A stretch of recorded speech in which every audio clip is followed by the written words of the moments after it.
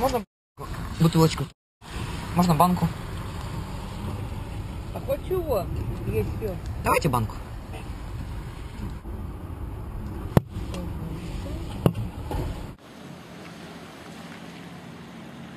Радиостанция Европа плюс Вологда только что вы продали несовершеннолетнему банку пива.